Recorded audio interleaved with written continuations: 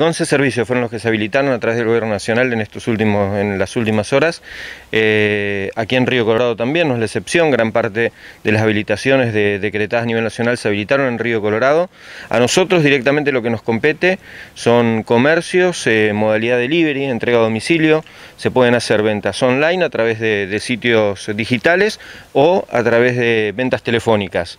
Eh, el reparto lo puede hacer el mismo comerciante o contratar un servicio de delivery para poder repartir la mercadería y estamos hablando de electrodomésticos, ropa, calzado, por ahí los últimos rubros que quedaban y todavía no habían sido habilitados por el gobierno.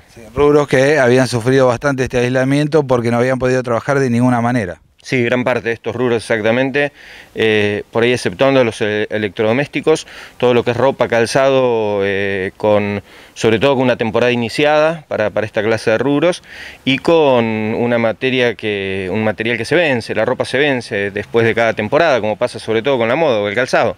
Así que por esa la preocupación de muchos de los comerciantes, fueron habilitados, así que vamos a ver, eh, es difícil, es difícil vender un jean, un suéter, o un par de zapatos eh, por internet o, vía telefónica, pero son nuevas modalidades a las que nos vamos a tener que ir adaptando, como nos vamos adaptando todos a, a esta pandemia, las cosas que se pueden o no se pueden hacer. Sin duda la sensación que esta pandemia marcó una especie de cambio de paradigma. Vamos a tener que acostumbrarnos a nuevos estilos y formas de vida, ¿no? Y por ahora sí, por ahora es lo que nos indica eh, esto de no poder estar en contacto, de no poder ingresar a un local.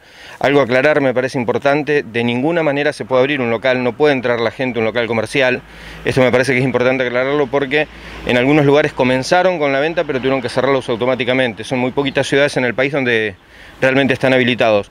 Puede ir el dueño o un empleado, tomar todas las medidas de seguridad y por el protocolo sanitario eh, vigente y desde ahí poder eh, venderlo a través de un delivery únicamente. No puede ingresar, eh, no pueden ingresar clientes al local comercial. Y bueno, vamos a ver si nos podemos adaptar. Hoy eh, estos comercios realmente están muy sacudidos por, por, la crisis, ya casi 40 días con, con las persianas cerradas.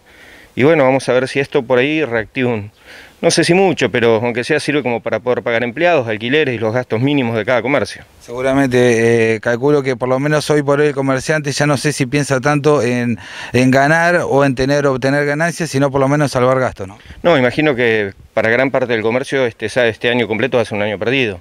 No va a ser un año donde va a ganar, sino esperemos que muchos comercios puedan volver a abrir o sigan con las puertas abiertas. Hoy leí un informe de CAME eh, cerca del 20% van a ser los comercios que van a quedar en el camino, que no van a poder seguir después de esta crisis. Eh, muchos que ya venían golpeados años anteriores y sin un sistema de financiación me parece como el que, como el que hay o, va a haber, va a ser muy difícil que puedan seguir abiertos. Muchos con, con cheques, comprando a largo plazo, cheques ya más del 50, algo del 60 y pico, 70% de los cheques rechazados en los bancos.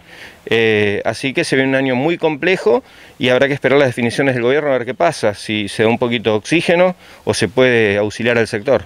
Martina, eh, seguramente esto va a generar un montón de dudas hasta que se acostumbre el comerciante, hasta que se acostumbre la gente.